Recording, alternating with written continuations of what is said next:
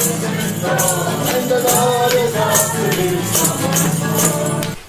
know, we're not here to to hear somebody speaking to us this morning. We're not here to hear a man speak to us this morning, because God is not doing that. He's not speaking.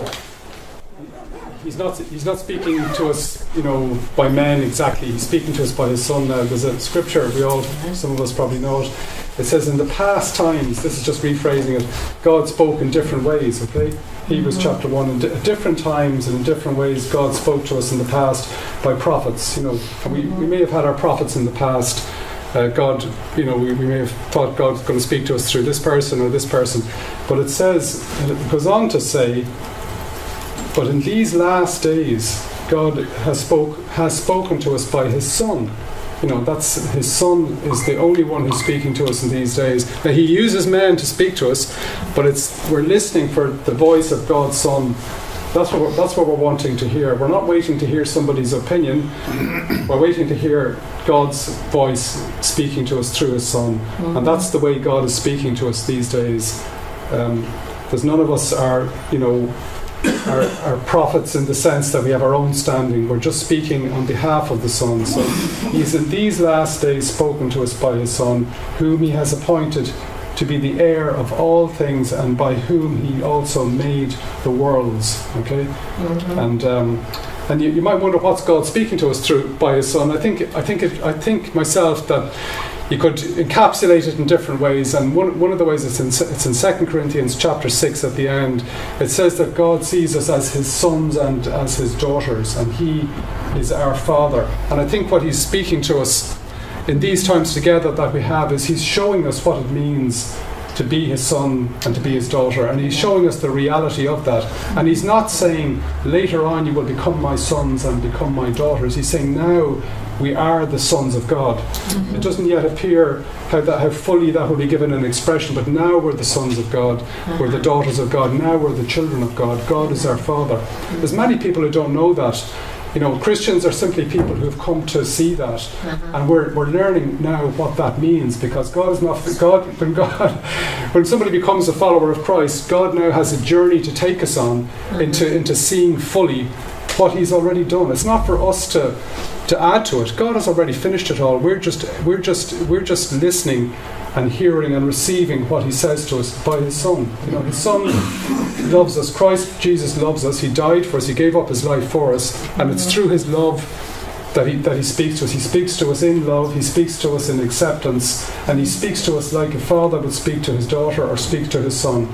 That's the way he speaks to us. You know, he's not speaking to us, you know, out of out of out, out of uh, you know fire or out of you know you know any other strange ways. He's speaking to us in these last days by his son, uh, and he's he's the heir of all things. Everything is wrapped up in his son, and we are his sons and we are his daughters. And so we're listening this morning for his voice, not for the not for the the voice of any one of us or any other prophet or person. We're listening for the Son of God to speak to us, and He uses He uses men to speak, of course, through to His speak to us through His Word.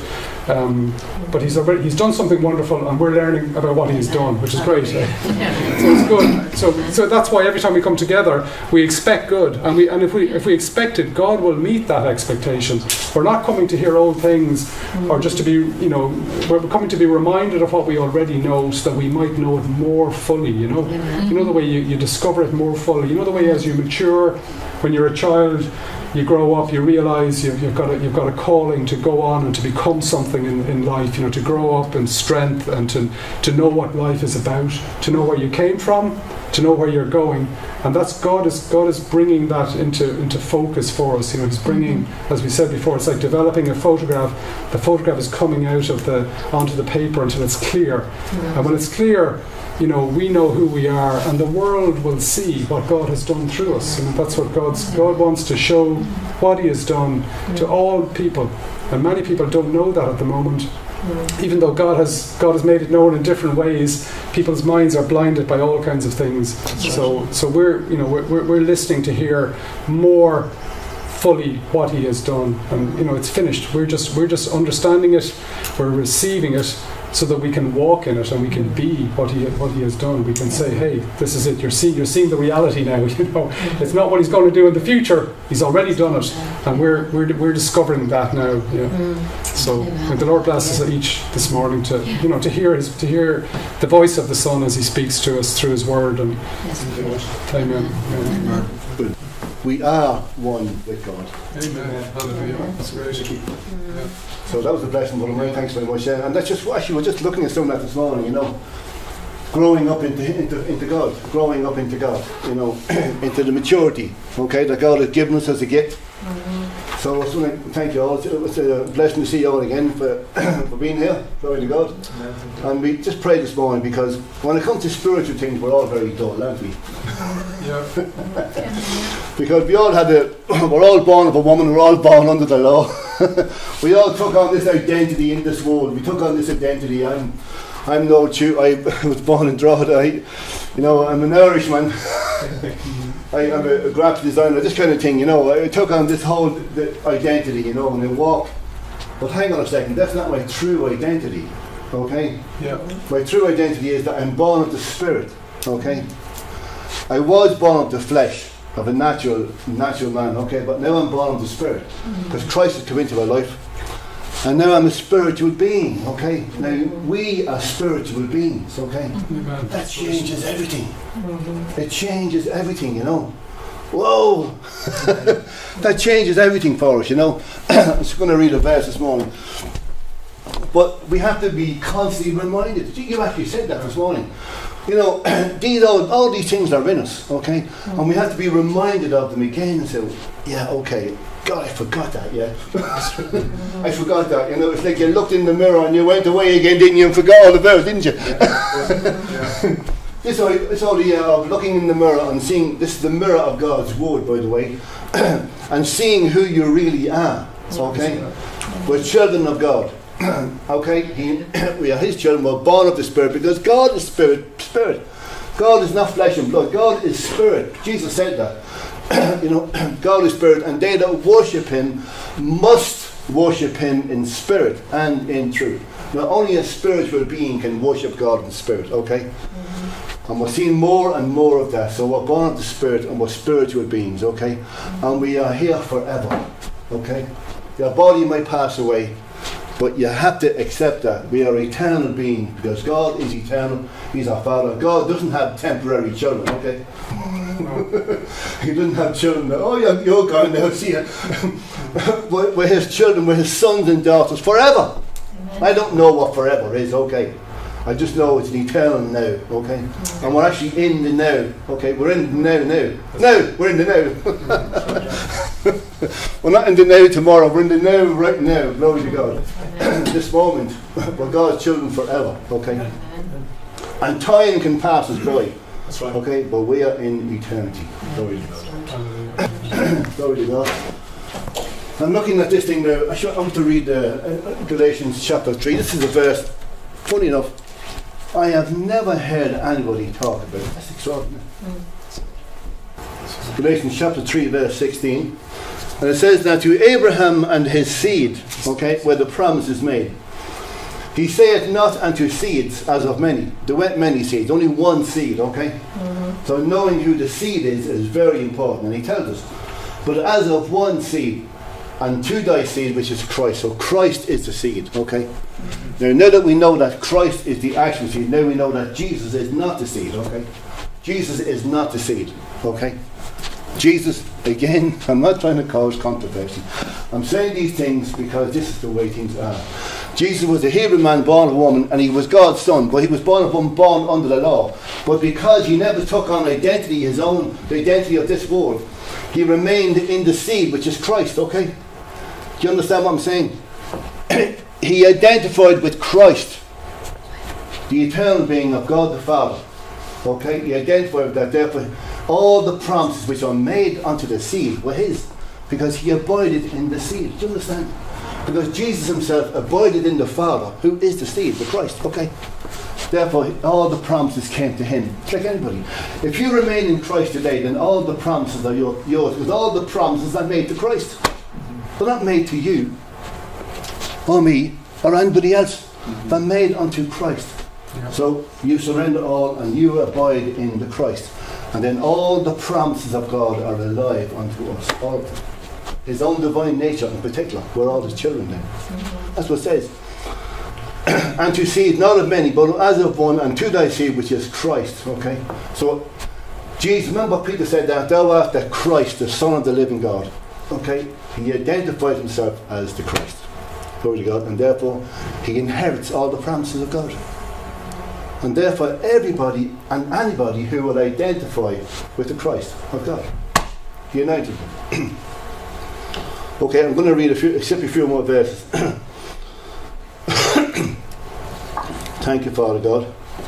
Now, verse 20, okay? Okay. I'll read verse 19.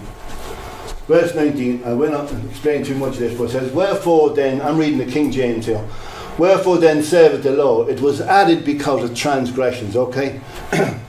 because people were breaking God's law, so he added it to show what was against God's law. He gave people a law, his own law, so that people would see the nature of God and everything else that was short of God's nature. So sin could be revealed for what it was, actual sin, okay? and it was given till the seed should come. Okay? The seed we now know is Christ. That law was given until the seed was revealed. Was come. Okay? So therefore when the seed is revealed, we know now no, need no more law. Okay? Do you understand? You know what law is? Law is tutors and guardians and guidelines and all kinds of commandments just to keep you in line. You know? Keep you from doing them, you know, destroying yourself or destroying somebody else. okay, that's what law is destined to do. And but if you are a son of God, you don't need law. You have the very nature of God. Okay, I'll just leave that for the moment. But look what it says. And the law was given until the seed should come, to whom to whom the promise was made. He tells us again the promise was made to the seed, who was Christ. Okay, and it was ordained by angels, and the angels are messengers in the hand of a mediator. Okay, now the law was given by God, but it wasn't given to the people. It was given to Moses. Remember, Exodus chapter 19. It was given to Moses. That's so important because Moses was the mediator. And a law is always to do between two people. Let's just say I'm God, okay? And Mike is the people. I have to get Richard in between us. I give it to Richard, and Richard gives it to Mike, okay? that means the covenant is now kept. He has to keep it, and I have to keep the covenant, okay? And that's the only way the covenant can stand. Glory to God. Law is always given through a mediator. Okay? Glory to God, yeah? Okay? And the mediator always comes, is always between two parties. That's right. Wherever there's a mediator, there has to be two parties. Yes. Okay? Just hold on to that. Because what we're looking at that this morning, okay? That's very important. Wherever there is two parties trying to come into an agreement, there has to be a mediator. Glory to God. Mm-hmm. Okay? Mm-hmm.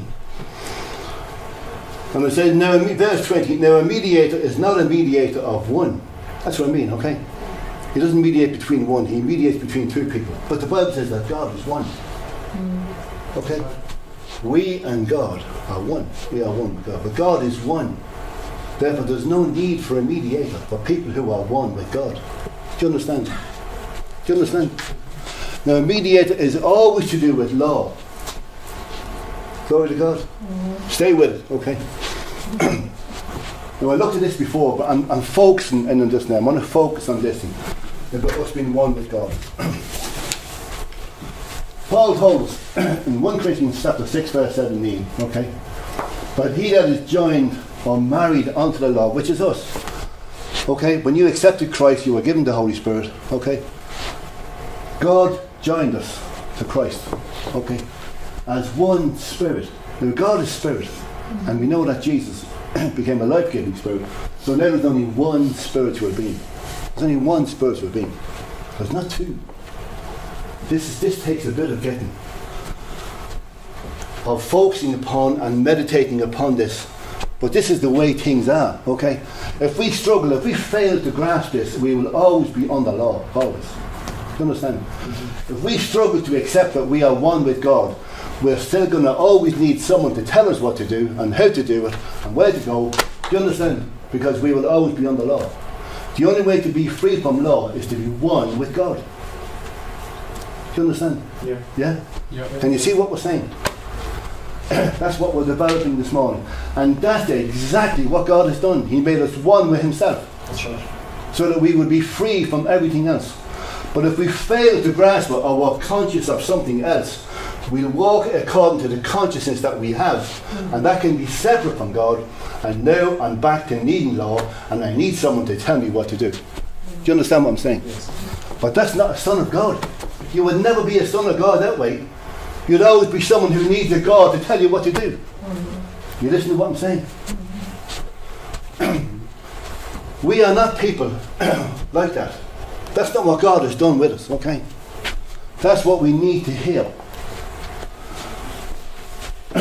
We are joined unto God, okay? God has joined us to Himself as one spiritual being. Now, He gave us other verses, we're focusing upon them again. Ephesians chapter 5, okay? For this cause shall a man, Jesus, okay, can think about Jesus for a moment, leave his father and his mother, which he has done, and he shall be joined unto his wife, joined, okay, and they two shall be one, okay. Now, these are all written down for us. He's not talking about your marriage, okay. He's not talking about your marriage. The two shall be one, flesh. Sit down. This is a great mystery, okay. Now, marriage is not a great mystery, okay. it's not a mystery at all. marriage is a disaster. Go on, really joking, okay. but I speak, he says, concerning. Sit down.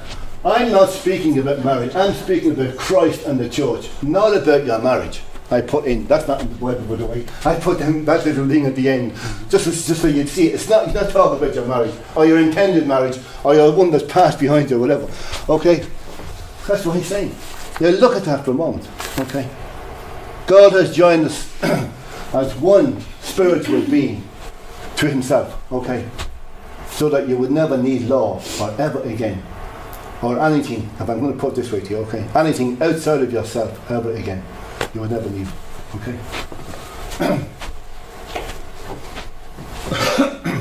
okay? Consider, focus upon it, meditate upon it. That's what meditation's all about. That's why we're told to meditate upon His Word day and night. Because if you glance at it, you just don't get it. Mm-hmm. You're not going to get it. You're going to go a bit, I do my shopping, I have to go here, I have to go there. It's all gone. I'm back into my natural life again. That's why we meditate, because God wants us to know who we are. He wants you to know who you are, so you'll walk in, in within, so you know within, so you'll walk accordingly, okay? Mm-hmm. I wrote down again, okay? I wrote down again, okay? And it is because I think you're all tick, because I'm tick as well. We're all taking spiritual things, okay? Dull. Yeah. So I put down, he that is joined, married unto the Lord, is one spirit. That's one spiritual being, okay? Glory to God. Yeah.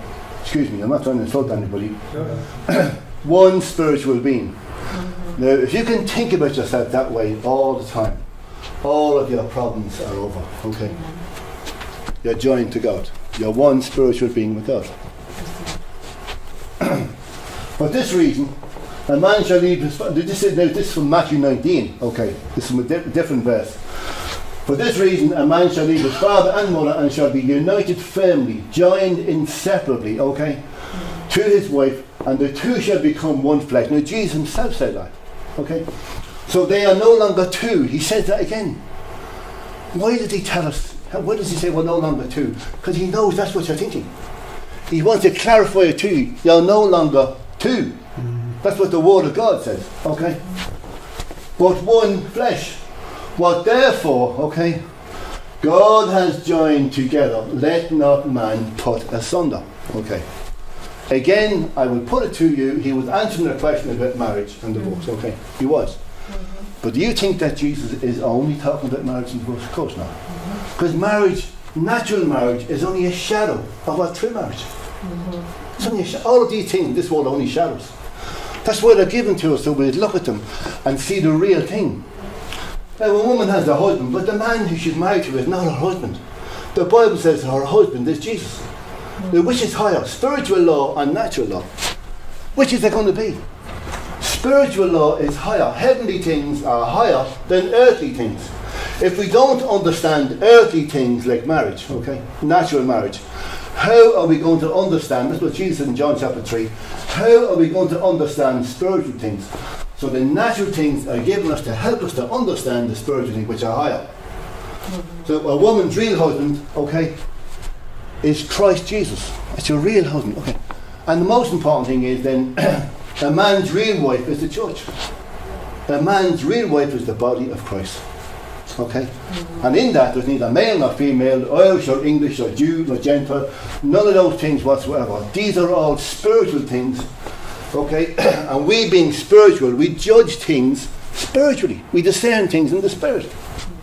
Okay? Let not man put asunder. That includes every time you walk separate from Christ and break your union with Christ, you put it asunder. Okay? Now, God, which is lovely again to remember, or always remember, God is not in the condemnation business, okay? He's not in the fault finding business or the judging business. So when he looks at us, he's not finding fault with us at all. and if you bring someone, bring, bring Breed up before you, what do you think of Breed God? you say, I don't see anything wrong with Breed at all, she's perfect. Do you understand what I'm saying? This is the truth. She's holy and blameless, and she's one with me, and I'm one with her. And if I find fault with her, I have to find fault with myself. Why? Because we are one spiritual being. Can you see it? How can God find fault with us when He joined Himself to us? He has to separate you from Himself, first of all, and then say, Oh, I'll judge that. Why would He judge it? Because it's attempting to be a spiritual, it's attempting to be a being in its own right. And there's only one being in the whole universe, okay, only one real being in the whole universe who's uncreated and always existed, and that's God. Okay? And anything else that attempts to be another being is under the curse of God. Okay? Under the curse. Under the law and under the curse. You with me, yeah? yeah? Yeah. Anybody? Anybody? Just one? Anybody?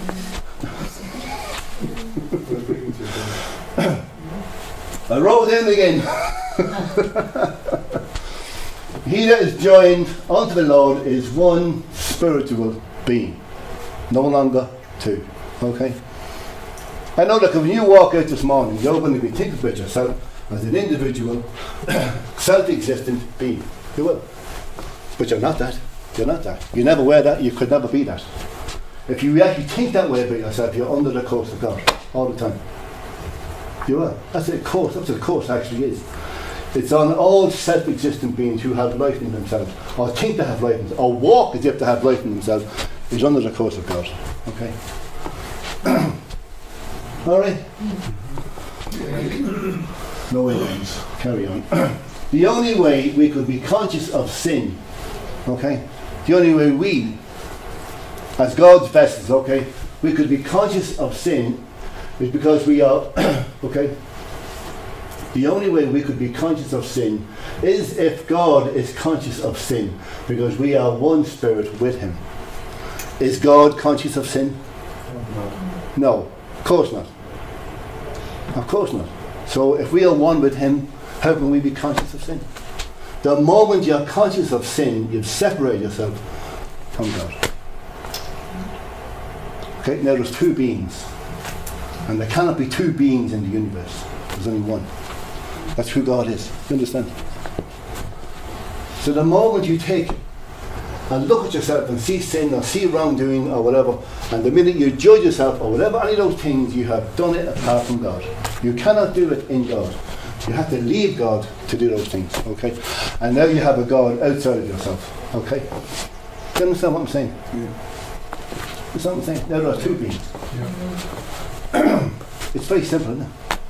Yeah? It is, yeah. Glory to God. Thank you very much. I need all the encouragement I can get. I know you're all looking at this. Can this be right? Can this be true? Oh, I don't know about that. That's why we need to meditate upon it. Yeah. Just a question on that last point. When we say two beings, right? Two beings, yeah. Yeah. But that's obviously an illusion. They're not actually walking as two beings. Exactly. Their mind, Yeah, yeah. are. Yeah. It's only right? it's in your imagination. And that's where the Bible says reality, you already are one with Christ. exactly. The Bible says it. He who is joined to the Lord is one spirit. But in your consciousness, you can be thinking about yourself, and because you've done that, in your consciousness, you're now separate from Him. Hmm. There's only one consciousness in the whole universe, and that's God's. Okay? Do you understand? Do you understand what I'm saying? So because you've done that, okay, you've separated yourself, you're now going to be doing what you think is right. The knowledge of good and evil. Okay? Thanks, Jason. Thank God that someone's seeing what was on there. Glory to but there we are. The only way we could be conscious of sin is if God is conscious of sin, because we're one being. okay, because we are one spirit with Him. Let us stop breaking this glorious union we have with Christ through unbelief. How many false gods do we need, or have we? You know? Are, every time you do that, you invent another god. You've made not the true God, some other God. Okay? Some other God that's holding your faults against you. Do you understand? As he is, the Bible says, 1 John 4 17. I keep on referring back to this. As he is, so are we in this world. That's all written down already. Been there for thousands of years. We're just looking at it now. Been there for thousands of years. Imagine. yeah? Yes. Romans 6 3. okay. This is Romans 6 3. Are you ignorant? Are you ignorant of this? What did he call it? Fact. A fact. Imagine calling it a fact. if you had said that this word, because that's just someone's word, but now he calls it a fact. It's in the Bible. Are you ignorant of the fact that all of us who have been baptized into Christ Jesus were baptized into his death? Okay. Glory to God. so now you can see that God is not saving sinners at all. He's getting rid of them, okay? he put them into the death of his son. The true God is not saving any other being, okay? Yeah? Any other being that has an identity outside of the identity of God, yeah? Yeah. You're taking identity to themselves as a person. And I know what's going to work for myself. You are now a self existent being, or attempting to be one, okay? And therefore, you now must be crucified. because God does not tolerate any other being in the universe, okay? Mm-hmm. The true God is not saving any other being, an independent life form, okay? Do you understand what I'm saying? There's only one life in the universe who is separate from himself. Nothing can be separate from God. When God made everything, okay, that's what remember we touched upon that before. God is everywhere. God the Bible says the spirit being he's omnipresent. Okay, is God more present here than he is here? No, yeah? No. No. No. He's, he's every bit as much present here as he is here. Uh, it goes to the furthest part of the universe, okay? Is he present out there more than he's present here? No, of course, he's omnipresent, okay. But he'd be more present in the centre, wouldn't he? No. No, he couldn't be. He has no centre. He's everywhere. Do you understand? And he has no edges either. There's no edges to him either. Do you understand what we're talking about? I'm trying to expand our minds Yeah. so you can understand who we're talking about. God is spirit being. He's everywhere. He's omnipresent. he's omniscient, all knowing. Okay? so in that being, no matter where you go, he's every bit as present there. Even hell is in God. Okay? No matter what you think of hell, it's in God. No matter what it is. Okay? That's so important that you understand all of that. But we know, we know that we are the highest of His creation. Because God made us and He gave us dominion over everything. Genesis 1.26. So we are the focal point of God doing anything. It's His creation, His man. God became a man. He is the only, that's the only form that God has taken in terms of, okay, real expression. Do you understand? Yeah? That's so important. Okay? That opens you up to understand, really. It helps us to understand so that we're not confined in any way. Okay? Mm-hmm. It helps us as we go along. And you can see that God has life in himself. He's, he was never created, he just is, okay? He just is. He always was, he always is. Same yesterday, today, forever. He always is, okay?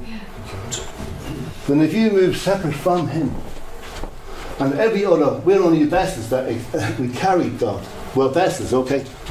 But if you take life to yourself, you are now a being, another being in the universe, attempting to be another being, self-existent being in the universe, Mm-hmm. and you're under a co-straight. You see that? Yeah? Course. The rightful course. Not only that, if I may say so, God never ever created any other thing. Okay? Because God, when God created He didn't create of some material He found somewhere in the universe. There's no material in the universe. We know that everything that's made is made out of God Himself. So He made things inside of Himself. Everything that God made is inside Him. You know, can't be outside So therefore, everything He made of, He made it of Himself. Even God made a tree, the tree is an expression of God, or an apple, or whatever it is. They're all expressions of Christ. They're all they're, Christ is the substance of everything. The Bible says, Colossians chapter two. He's the substance of all things. Do you understand? Okay. So it's not that He made something over there. He can't make another thing over there. It's in Him because He's over there too. Do you understand? Yeah. Yeah, yeah, yeah. Okay. Glory to God. Yeah. You see that we're just vessels for God. We cannot be another person. Okay. You've seen that. Yeah. If you're not a vessel, you're another other being. You're attempting to be another being, and you're now immediately under the course. okay? I think it's important to just uh, Jason made the point though though, that it's it's not that we are another being that we're attempting to be another Attempting, yeah. which Attempting. is a distinction. yeah. know? Or someone gave you the idea that you will. Yeah, Yeah. because it's Okay? It's clear as mud, isn't it? Glory to God. Glory to God. Hallelujah. Thank you, Lord. it's dawning, dawning, dawning. Stay with it. It dawned on you because it now you know who you are. And then when you know who you are, what else do you know? You know who God is. Exactly, yeah. Remember when Jesus said they don't worship God is spirit, and they that worship must worship Him in spirit, okay, and in truth, the reality. Truth is the reality, and they're not going to worship on this mountain, Yeah. nor in Jerusalem, okay. Yeah. Nobody said that. yeah. It's not going to be here, and it's not going to be there, but they worship Him in spirit, okay, and truth. So it's not here or there or anywhere else or Drogheda or Dublin. Okay, it's for people who worship Him in spirit. Mm. They meet God. You can only meet Him in the spirit. Okay, as a vessel. okay. So you can see that God is not saving anybody really. So He's not. No. Okay, He's getting rid of them. He's wiping the planet free of all these other beings. who think they're all beings. He got rid of them when he buried them all in his son. Okay? There's no other. no, The, mean, the moment you try to be separate from God, you're trying to be an independent self. Okay? Mm-hmm. Jesus removed every one of them in his death as the last Adam. God gathered everything up into into the last Adam, who was Christ, mm-hmm. and put them on the cross, and then buried them. And it says that they were baptized into his death. Okay, right? Yes. Mm-hmm. Thank God we're free of ourselves now. Glory to God. because that's what the veil of the temple was. Remember the veil in the temple? Yes. Into the most holy place. Mm-hmm. That veil is the body of sin. It's that body, you have. It's the body of sin. Okay, and that's where it was torn in two through the cross, okay? So that now you're not trapped within yourself anymore. Now you're free from self so that you can enter into the being of God, okay? When you go through the veil, you enter, and there's no sin in there. Mm. That's what we're talking about. I remember last week there's no such thing as sin in that place. Mm. Where we're one with God. What, what are you talking about? No such thing as sin. Mm. Sin is just an invention for a person who is a separate being from God. Or a body of sin. Do you understand, yeah? Okay? Romans chapter 6, verse 3 to 10, it's not them all, it's just. so I made these little notes, okay? Do not ever consider or judge yourself to be a sinner.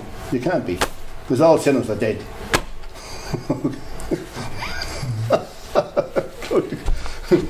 Do not ever judge or consider yourself to be a sinner. There are no more sinners. They're all gone, baptized into his death. All right, saw that, you? Yeah. There's none before God, and we're talking about before God, okay? If you want to judge some other way, you'll find them all over the place.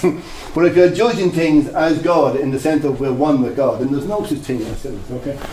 He is not saving sinners, okay? They are all dead. Dead people cannot judge or examine themselves, okay? That's true. That's true. Dead people can't get up, oh, I'm not doing so good today. you can't do that anymore. oh, look at looking at himself, I committed sin today. You can't do that, you can't, you're dead. You hear what I'm saying? Yeah.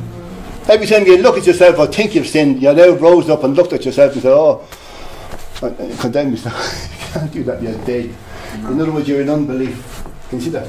that means you're now you're not, you're not in sin. You're in unbelief, which is the only real sin there is. You actually believe you're an exist, a self-existent being who has broken God's law. you can't. Mm-hmm. Yeah. Yes. Yes. Yeah. Glory to God. That's right. Dead people cannot judge or examine themselves, so they have to stop doing it. Okay. Mm. Do not let anyone else ever minister to you on the basis that you are a sinner. Never. Because you're a new creation in Christ, okay? That's what God has said in His Word. Do you believe it? Yes. Do you believe it? Yeah? Yeah? Glory to God. so unless someone come up, oh my God forgive you.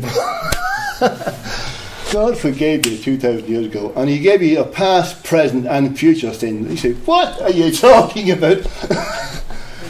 okay. Don't let anybody do that. That's the, they're all the schemes of the devil, and we are aware of his schemes. Okay, they're all schemes. Mm. Or someone praying for you that oh, God help me get over his sin. What sin? There's no sin. There's no sin. Good. you know what I'm saying. you are a new creation before God. Do not deny the work of God in your new life. Okay, God has already raised you up as a new creation. You're a new creation in God. Okay? Uh-huh. So don't be denying his word and telling God he's a liar all the time. Okay? That's what you're doing. Yeah? Oh, still think about it, think about it. Glory to God. Hebrews 2.11 For both he who sanctifies, that's Christ, okay? Making men holy is sanctifying them, okay? And those who are sanctified, that's us, okay? Mm-hmm. All have one Father. Alright? For this reason, he is not ashamed to call them brethren. Okay? Now, at this particular point, he has brought us to the Father. Now, God, Jesus, doesn't want to be a mediator because if he's a mediator, there's two people involved. Remember we said that? Mm-hmm. Jesus himself is God. Okay? So when he comes to us, he comes to us as God. And he has made us one with himself. That you would now be free from all condemnation and judgment, all law, or any other thing. Okay? Mm-hmm. Do you understand? So if you think about yourself as a self-existent being, separate from God, you're under law.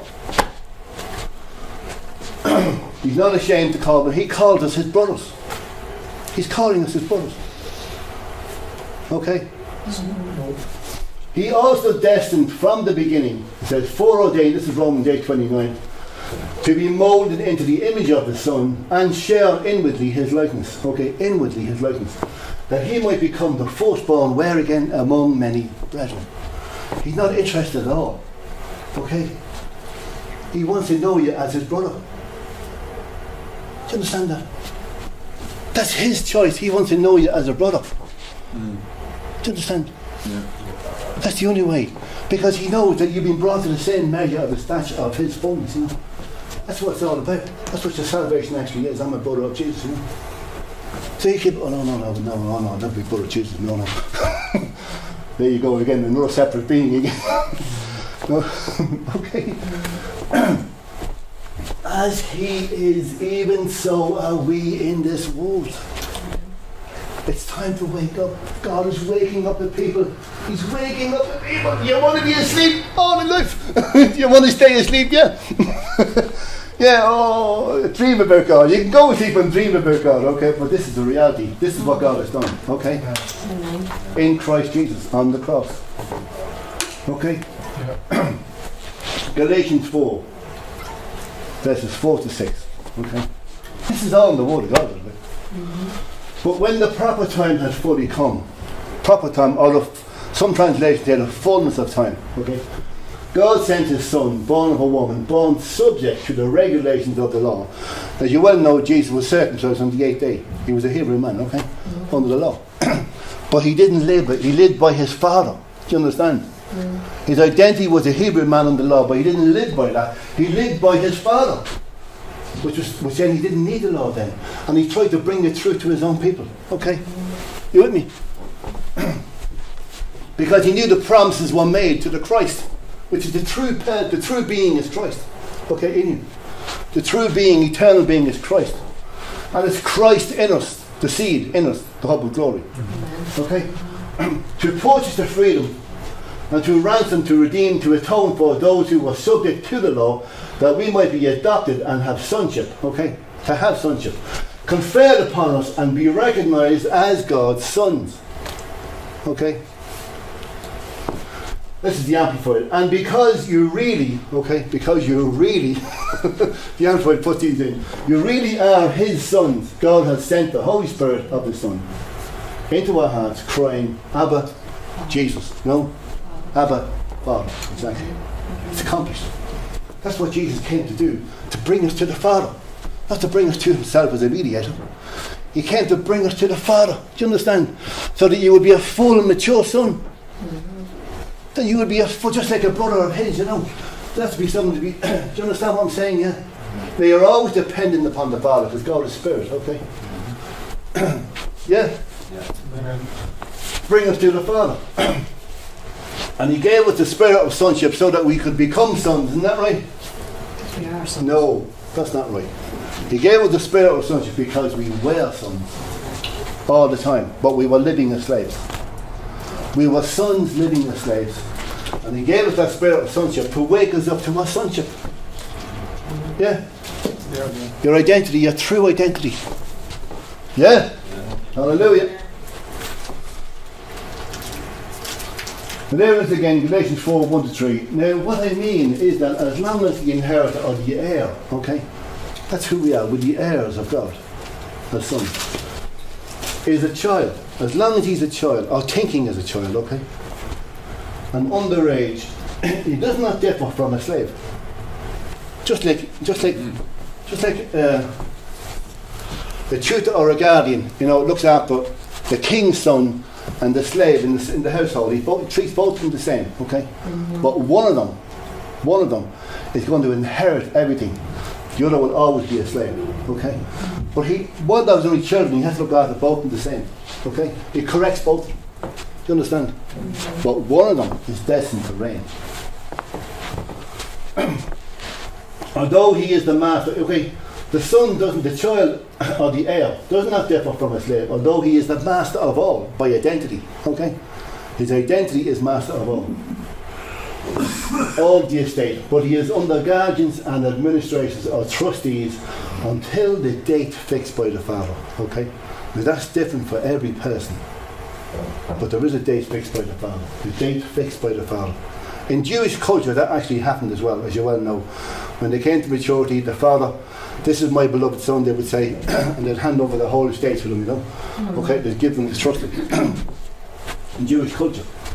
So we Jewish Christians, that's in, in, that's in the Amplified, okay, also when we were minors, we're kept like slaves, under the rules of the Hebrew ritual and subject to the elementary teachings, okay?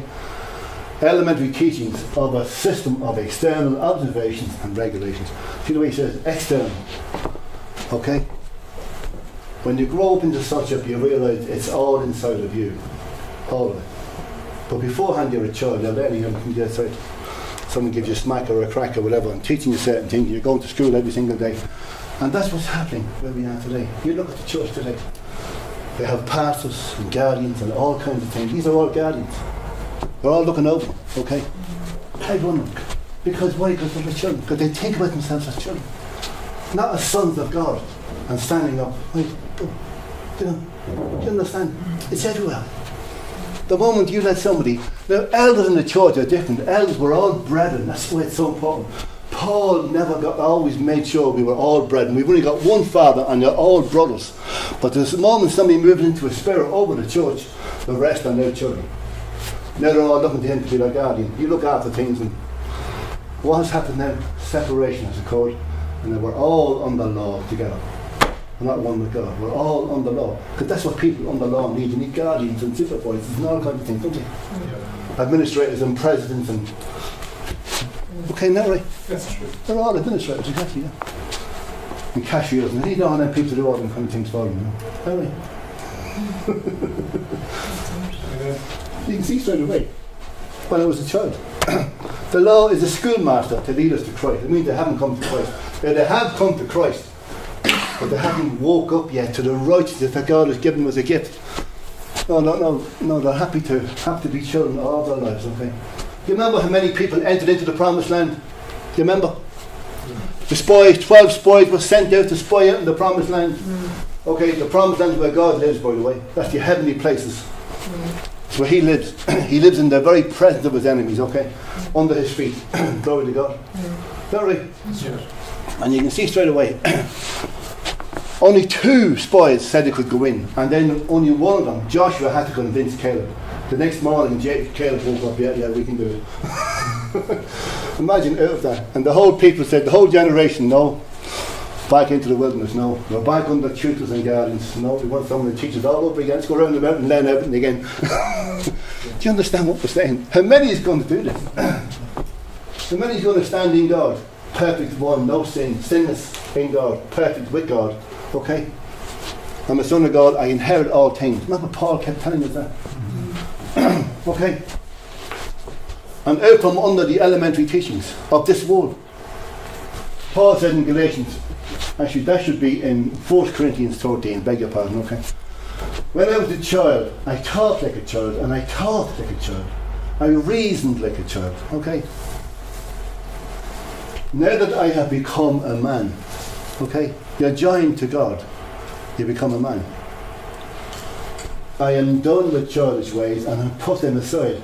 But now we are looking, now at this moment, we are looking in a mirror that gives only a dim, blurred reflection of reality, as in a riddle or enigma. But when that perfection comes, that comes when the time appointed by the Father. Remember, we said that? Okay? You have been appointed by God to rule and to reign. Glory to God. As the Son, inheritor of all things. when perfection comes, we shall see in reality and face to face. Because if you're one with God, you can see Him face to face. Mm. You haven't seen everything yet, but you're in the right place. Okay? Now the veil is broken. now I know in part, imperfectly, but then I shall, then is when the time appointed by the Father, then I shall know and understand fully and clearly. Okay, even in the same manner as I have been fully and clearly known. God has always known us as what we really were. We didn't. We thought we were something else. Yeah. Individual, separate beings. And God, okay? But then you think the veil is taken away, you can see it. Uh oh. Reality. Reality. This is who I really am. I inherit all things. I'm God's son. Glory to God, I never saw it. I inherit all things. And now I don't need external laws, external rights and wrongs, good and evil. You know, all those things, you know. I don't need them anymore. Okay? Teachers and stuff like that. Do you understand? Because God is in me and I'm one with God.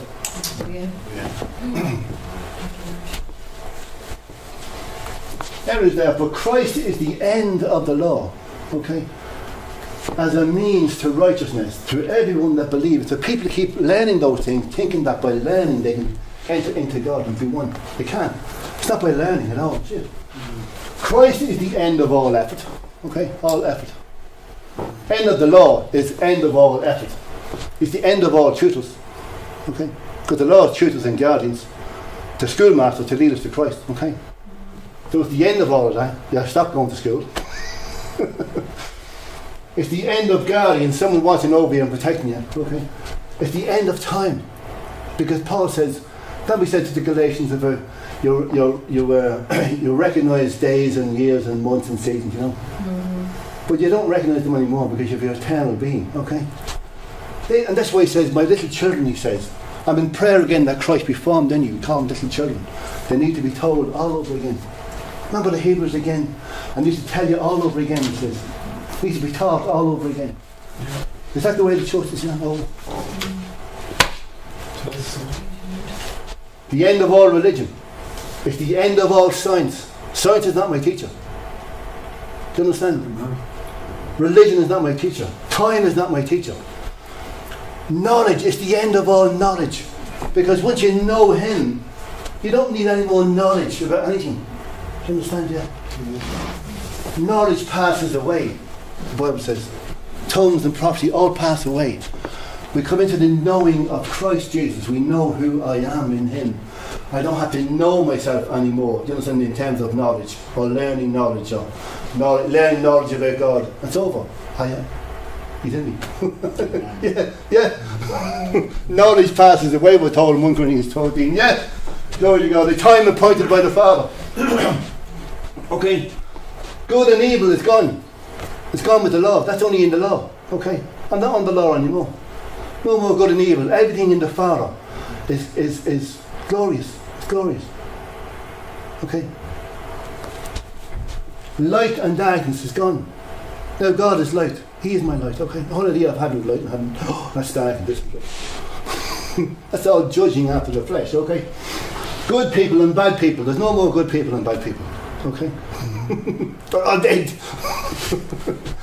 Glory to God. Judging by there's no more judging by appearances, and there's no more judging after the flesh, etc., etc., etc., etc. Okay, when you're one with God, do you understand? Yeah, see what God has done. But if you can, if you still need all of that, well, okay, you still need churches and churches and pastors and preachers. Yeah, mm-hmm. yeah it's okay, and that's okay. There's a time for that.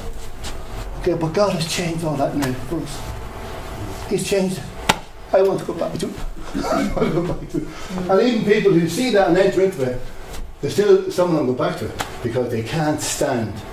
The Bible says, Stand therefore, stand in the presence of God as the Son of God in His very presence. Continue to stand. Okay? And stop wrestling with flesh and blood. Okay? That's all. The law again is to do with wrestling with flesh and blood, fighting with one another. That's all to do with the law. And that tells you straight away we're all in the place of children. okay? And that's what when you get into when you get in through the veil, you're there to stand in God's presence, okay? As one with God. And one with your Father, there's no sin. Make a good confession. Stand there in boldness, okay? That's why we need to be very, very bold in the presence of God. Very, very bold. You need to wake up to it, you need to go to sleep to it, you need to walk in it during the day. Okay? You need to be able to say those things as He is, so am I. I don't have to boast it, just have to say them, confirm them, and admonish, you know, acknowledge them things. We acknowledge every good thing we have and Christ, stand in the presence of God. Because the whole of this creation is trying to get you out of there. Do you understand? It's trying to get you out of there. Everything, every being in darkness and everything is trying to get you out of that place. Okay? Okay, I wrote down righteousness is something we wake up to at the time appointed by the Father and not something we can be taught or learned. You can never be taught righteousness or learn. You can never learn. It's something that you wake up to. Hallelujah. Okay? You see that? You see that? Yeah? Yeah. Glories, isn't it? Amen. It's glories. In the glories, yeah. Well, we've seen something yet. all that nobody goes to God. Righteousness can never be taught. How can I teach you righteousness? For goodness sake. I don't know what it is. It's something that I wake up to. Amen. Amen. This is the one I'm though I want to go over these again. Okay, we looked at these last week as I'm hold these in front of you until the penny drops. Hebrews 9:26. Now once at the end of the world, he only appeared once, put away sin once for all. Okay, remember that we looked at that. So uh, you died once. You can't die again today. Okay, it's all happened once. You stand. That's something you stand in, by the way. It's a stand there. The reason you go back to think the way because you didn't stand in, in the truth in the first place. Mm. Okay. you appear to put away sin. So is sin gone? Yeah. Yeah. Glory to God, it's gone, yeah. Hallelujah. Once for all. but he sacrificed himself, and it is appointed, okay? It's appointed unto men once to die. Now that's God never appointed anybody to die, okay? He didn't. Adam departed from God, and the Bible said, The day you do that, in dying you shall die. Okay? God never appointed anybody to death. But the law appoints everybody to die because we've all entered into death and the knowledge of good and evil under the law. So the law has appointed every one of us to die. But in truth, we never die before God, okay? All right? That's right. Glory to God. It has an appearance, just the appearance of things, okay?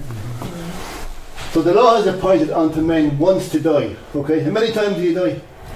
Once.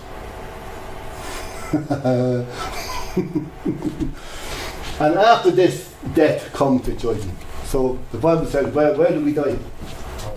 We die, we already died. It's appointed unto men once to die. Because God is not talking about physical death. Mm. There's no such thing as physical death. do you understand? the most important thing he's telling you, you have already died. Remember we said you are baptized into his death. Romans 6 3. Okay? And that appointment has already taken place if you believe. If you don't believe, you're still going to have to die, okay? You with me, yeah? Yeah. Well, what happens after death? And after this, the judgment. Okay, so what is the judgment? The judgment is that you're a son of God, you're righteous. You're righteous. Every bit as righteous as God Himself. Every bit as holy as God Himself. That's the judgment. But that comes after death. And if people refuse to believe that they're dead in Christ, they never get that judgment. Okay? You've already been judged. if God's not holding the spot against you now, is He ever going to change His mind later on? He's the same yesterday and today and forever. Oh, I got you. What's not? She did good. She God. Yeah, you getting a picture of God, yeah? Yeah. Really, I said, glory to God. That's why people keep putting things off to the future. They keep putting them away in the future somewhere, you know. There's no future. There's no thing in the future. You know there's no thing. There's only appearances of the future. Do you understand what we said? There's only the, the, the future is only an appearance. Okay. Yeah. There was no such thing with time with God when He created Adam. There was no such thing with time. When Adam partook of the tree of the knowledge of good and evil, he entered into time and the appearance of judgment and evil and good and evil. Do you understand? Into darkness. All right. Yeah. Hallelujah. so after you've died in Christ, which is the only place you can die, by the way. Okay. The judgment. So Christ was once offered. Okay, that once again was back to the other once. Okay. He was once offered to bear the sins of many in that death. And unto them that look for him, okay, shall he appear the second time without sin unto salvation. So what happens when you enter the place of no sin? What happens? He appears. Because there's no sin in him, okay? There's no sin in him. So if you keep thinking about sin and sin in your life and blah blah blah, okay, you're never going to see him. Because he only appears to people who believe there's no sin. And, and that's, that's his second appearance. That's what people are calling his second. That's the only place in the whole Bible, okay, that talks about. the people call it the second coming. There's no second coming. There's a second appearance, okay. And he appears to people who actually enter into the place of no sin. And Christ is manifested. The manifestation of Christ in us is when you refuse, you actually believe there's no sin, because he cannot appear in someone who's a, who's a self existent being. But when you put away sin and you enter into the fullness, into the place of oneness with God, Christ appears, that's who he is. You see it? Yeah? Okay. it's something to pray over, meditate upon, okay? Glory to God. Yeah? Yes. Amen? Why do you go back to second Well, you, you, keep, you keep putting them things off to the future. What's going to happen? You- You're going to have to put sin out. You're going to have to put freedom from sin out to the future as well. You will. You can't put Him, Christ, into the future and then retain the thing without sin. You can't. Because He is appears without sin. And that appearance is nothing to do with the physical realm. It's the appearance of the life giving spirit in you with no sin. And you now know there's only one. Because you, if you are separate from the, you're in a place of sin. It's only when we are one with God Himself there's no sin. Mm-hmm. Okay. You can't put it, you, you can't put one off into the future and keep the other for now. The both of them are either present in your life now or the two of them in the future, and you're still waiting for them to come. Okay? Yeah? Okay, I'll leave that one with you, okay? so I wrote down these notes. What is the judgment that comes after death? And when he is come, okay, he told us this in John 16. John 16, 8. When he is come, he will reprove the world of sin and of righteousness and of judgment. Of judgment because the prince of this world is judged. He's judged. That's when a person realizes I'm now one in Christ. That's the only place the prince of darkness has no dominion. Is when you are one with God. The moment separation occurs, now the prince of darkness has got something in you. Remember Jesus said, the prince of this world comes, but he has nothing in me. Why has he nothing in me? You say, because I and the Father are one. Do you understand, yeah? But the moment he says, in unbelief, uh oh, the prince of this world, I'm now another being. Do you understand? Yeah, yeah. Okay. when we accept or believe, okay, that we have died once with Christ, we experience his deliverance, into righteousness of the new creation where there is no sin. That was the judgment. That's the judgment. of? It's a righteous judgment. All right? Blessed are your ears because you can hear these things. Glory to God.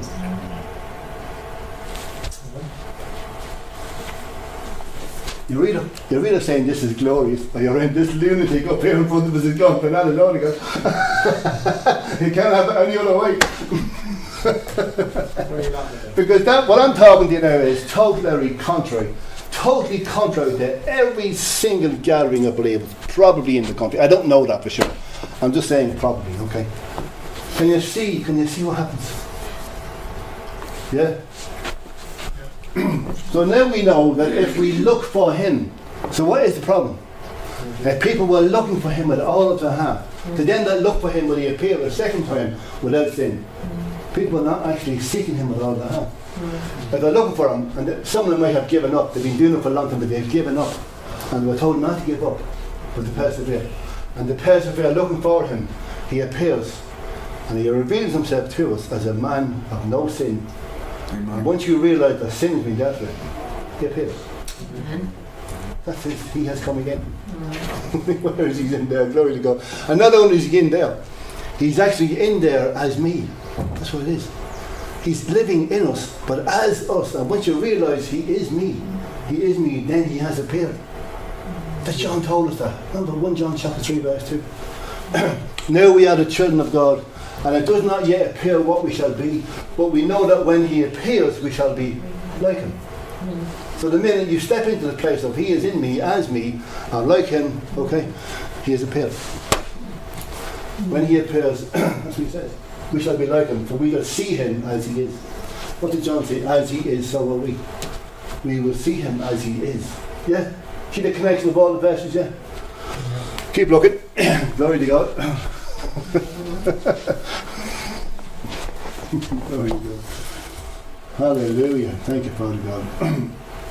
and if we look for him, he will appear the second time without sin unto salvation. And that's what we call the fullness of salvation. Okay? So the big question, as far as we are concerned, is has he appeared the second time without sin to any individual? Okay? Unto salvation, or are we still looking for his second appearance?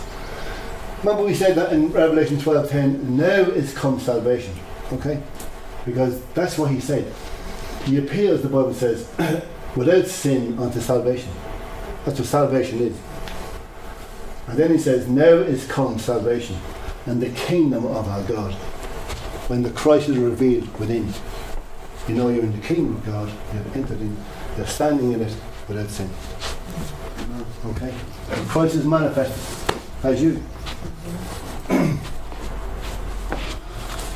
they throw rocks at you. Glory to God. John chapter 14, okay? I will not leave you. I've gone over these again because I want to show you what he said, okay? Excuse me for going over it again. But we look at it and look at it. I will not leave you comfortless. Okay, remember uh, we we sang that uh, song. Well, Jesus said, I never leave you nor forsake you.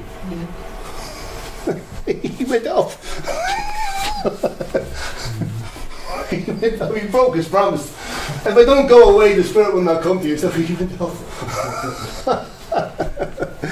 You see the way you have to understand the Word of God, yeah?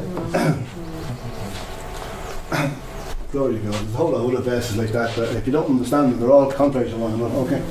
I will not leave you comfortless. I will come to you, okay? Yet a little while, and the world seeth me no more. Okay? See that there? Mm-hmm. I will not leave you comfortless. I will come to, come, come to you. This is he's talking about after the cross, and he's talking about Pentecost, okay, in the Spirit. I will come to you yet a little while, and the world seeth me no more. No more means no more.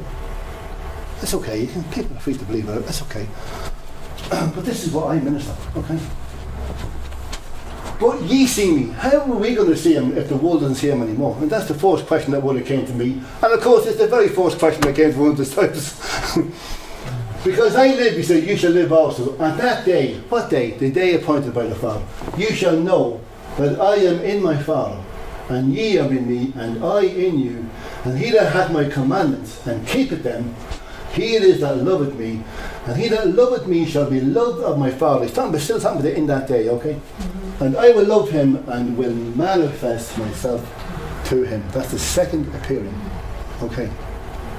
And to them that look for him will he appear a second time without sin unto salvation. I will manifest myself to him. And he'll manifest himself to you as you. As you. But if you want to walk as a separate being, that's okay. But remember this, you're under the curse of God.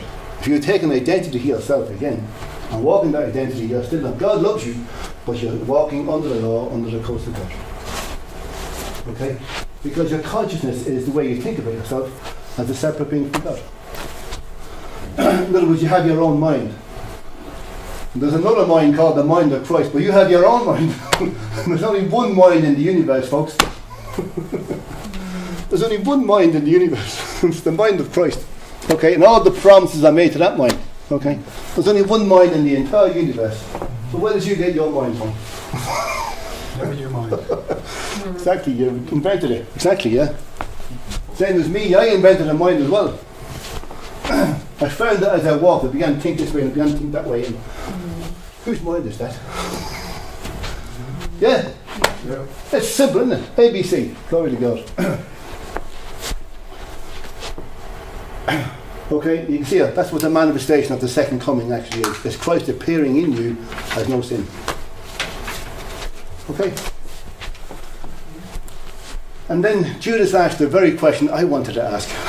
and everybody else wanted ask. Judas, this is not Iscariot. Lord, how is it that thou wilt manifest thyself unto us and not unto the world?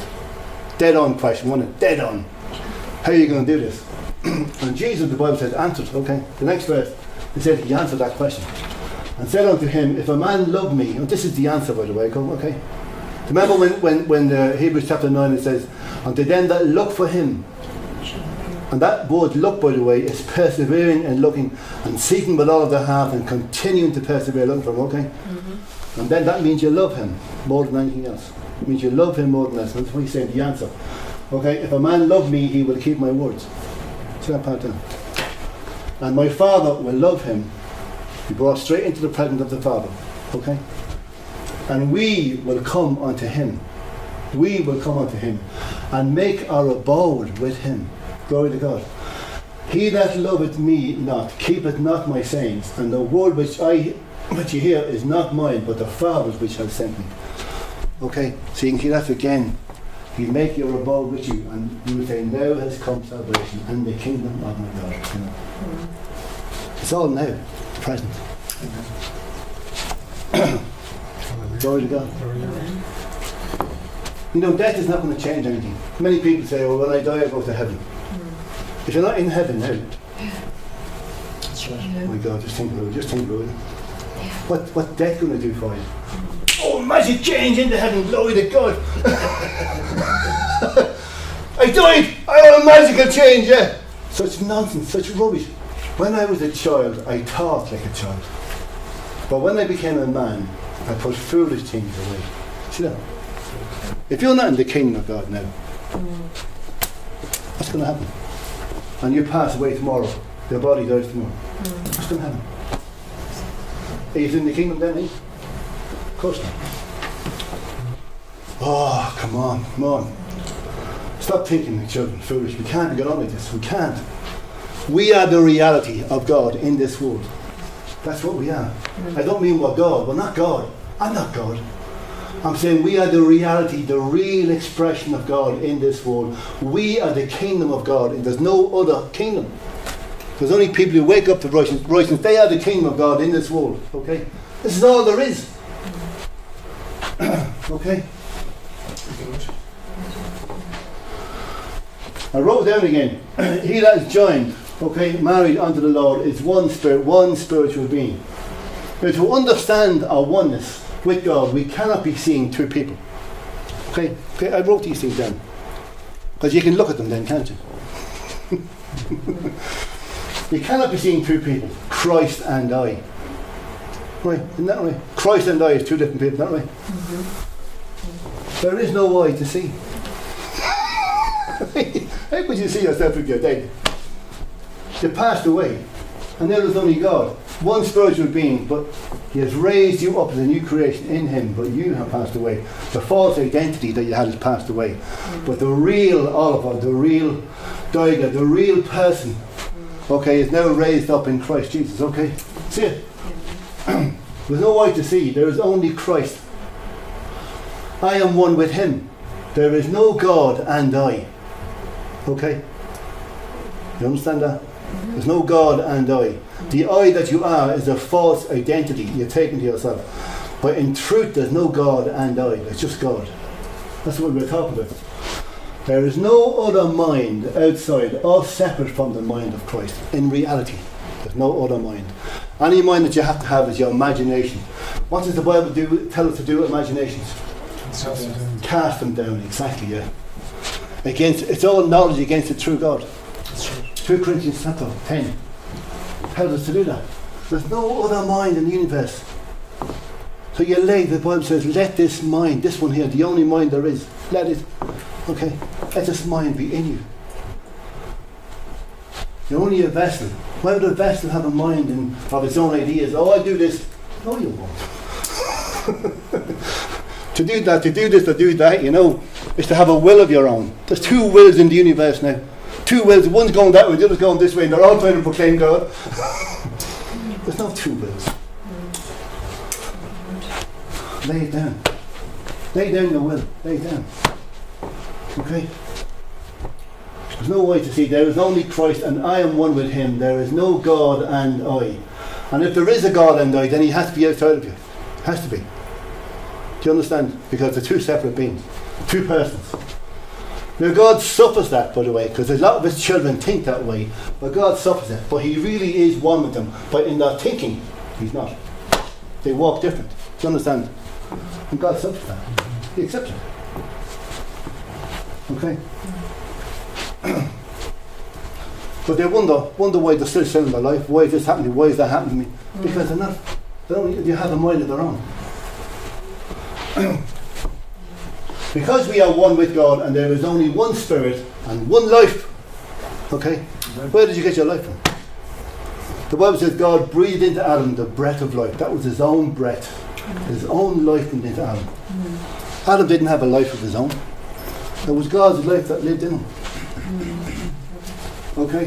One spirit and one life and one mind. And one a whole lot of other things, okay, which you can't number. But they're the primary ones, okay? That's what he says. You have died. Remember Colossians chapter 3, verse 4. Mm-hmm. You have died, and your new, real life is hidden with Christ in God.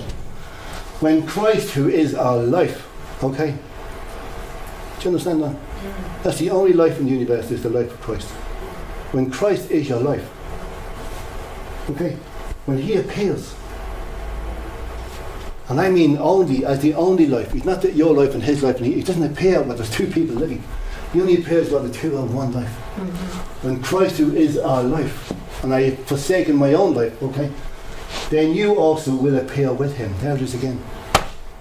Then, not when it's at the end of the no, that's when you realise that Christ is your life, then he appears. Do you understand that? Yeah. The time appointed by the Father. You appear with him in the splendour of his glory, yeah. The things we're talking about this morning, it's exactly that. Okay? Hitting the nail on the head every single time. We must abandon all thoughts of Jesus Christ being someone who is saving us from without. Okay? He is the very life of our beings. Okay? He doesn't save individual beings outside. Okay? See that, yeah? Simple. yeah. Yeah, yeah. he lives saves people by becoming one with him, if they'll accept it. By becoming one with him.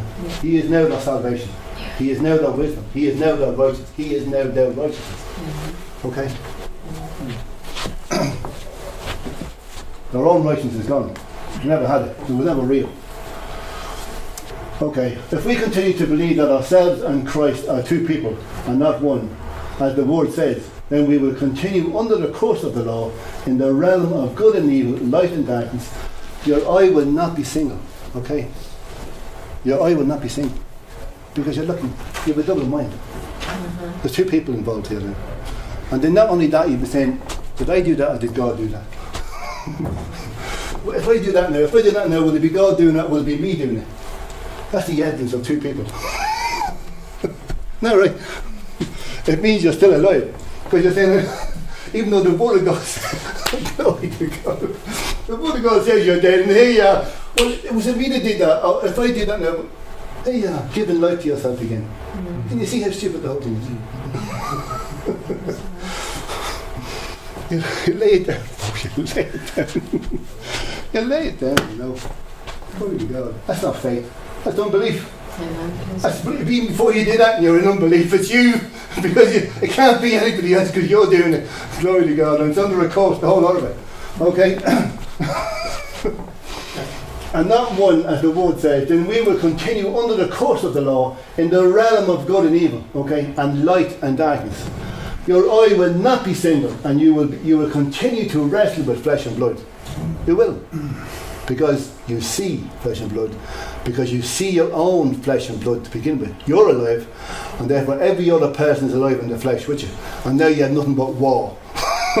okay, it might not be boxed boxing one another, but it's all in there. okay? how can you build, how can anybody build a body out of that, for goodness sake? you have to get rid of all that on force before you can build a body, for goodness sake, yeah? because you have not believed that you are dead. And there is there. Because you haven't believed you're dead. Not because you're not, because you haven't believed it. You are dead, but you haven't believed it. Because you keep asking questions like that. if I did that now, who'd be doing it? that question alone is unbelief. Mm. All right? Yeah? Mm, yes. As he is, so are we in this world. How does again? We must give up thinking that Christ Jesus is someone separate from us, okay? He's not separate from you. Or someone that we pray to, okay? Oh, that was to that was to cause all our problems. or someone that we pray to. He is my identity. He's my life. If he's if he is my life, he's my whole identity, folks. He is my. I have no life apart from him. Therefore, he is my identity. Why would I pray to somebody like that in that sense? Pray to somebody, you know, who is my, my identity? It's me. What has to happen? The groan within, exactly. I groan within and I realise my will is this and my will is that. This is my, because my will is God's will. Do you understand? Because now my will is God's will, He's my identity. So I'm choosing this and I'm choosing that. I'm going to do this and do that. And I'm doing it with full conviction because I'm doing it in faith. And because of that, God that's doing it. Should I? But if you think about it, say, oh, God, I don't want to do my own will. There is no your will. you're an. Your prayers are an unbelief. All of them. yeah. You started off in unbelief, and you're trying to get in. You can't do that. no, you don't. You cannot be praying to somebody like that if he's the same person as you. Okay? He's your identity. We pray from our identity in Him, and that's what I mean in the name of Jesus, in the nature of Jesus. We pray in His identity. Do you understand? We pray in His name, in His identity, because He's my identity. That's what it is to pray in the name of Jesus, okay? But it's all been totally misunderstood. He is not someone who is separate or apart from who we are. He is in us as us, and we are one with Him. And that's what the thing is, the revelation of it is, okay? The wisdom of God the wisdom of God that He is in you as you just, you are whatever you are by the grace of God. If you choose something and decide something, it's God who has chosen it. Okay? and if it's done in the, of an error or something, then God will reveal it to you. Why? Because you're in faith. Simply, you reveal it, you show it. And He's not going to condemn you for it. Because you know you love Him. You know you love Him, you did it in love. Faith works by love because you love Him. But the choice that goes on in here, where He lives, because both you are the same person. Mm-hmm. Okay? Mm-hmm. Yeah. Yeah, amen, yeah. And that's what God is doing. He's walking in you, everything, He's walking it in you, everything pleasing to Him. Mm-hmm. He's walking it in, so He's in you walking. He's bringing you to that conviction. The Spirit of God bring you to that conviction, but one mind, yes. Mm-hmm. Okay? Jesus prayed from his full identity with his Father. Okay? Remember we said this this, by the way, is in Isaiah 55. And people use it all the time. And they use it with the saints, okay? It's in Isaiah 55. I didn't write down the, I just put down the verse, okay? But 55, 8 to 9. For my thoughts are not your thoughts, okay? Now, before he actually said that, if you read it, there's a verse before that he says, you know, he speaks about departing from your wickedness, okay? For my thoughts are not your thoughts, neither are your ways my ways, says the Lord. For as the heavens are higher than the earth, so are my ways higher than your ways, and my thoughts than your thoughts. Okay. That's what he said to the people who are wicked. But Paul says we have the mind of Christ. Now because we are one in spirit with God, the mind of Christ, his thoughts are my thoughts. See that? It's true, yeah. Are my thoughts.